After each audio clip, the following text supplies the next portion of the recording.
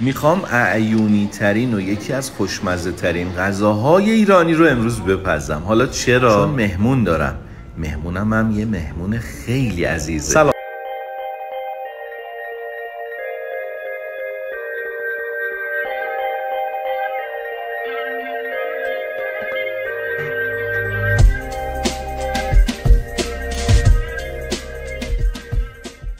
رفقا اگه مهمونم رو نشناختین تا آخر ویدیو با دقت نگاه بکنید در مرحله اول گوشت گردن مرغوب گوسفندی رو تو آب سرد همراه پیاز و برگبو و نمک و فلفل سه چهار ساعت می‌ذارم بپزید اگه براتون سوال شده این تیکه از بهشت کجاست باید بگم اینجا امارت قصر منشی بوتیک هتل زیبا در اصفهان. نصف جهان. خب گوشتمونم که کاملا پخته.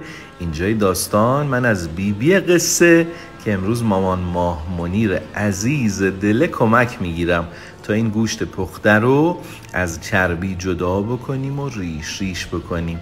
به به. مامان ماه منیر با این دستای خوشگلش آهسته آهسته گوشت رو کفمال می‌کنه کمی هم از آب گوشت اضافه می‌کنه.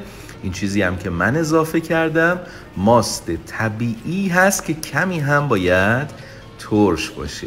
بعد از کف مال کردن و کشدار شدنش یه کوچولو شکر هم بهش اضافه می‌کنیم و میکوبیم و حالا وقت اینه که با دست و دلبازی بهش زعفرون بزنیم. حالا می‌ذارم تا حسابی خنک بشه و اینطوری کشدار و با کمی زرشک سروش می‌کنم. برای کی؟ برای مهمان عزیزمون بزرگ آقا و چه لذتی بیشتر از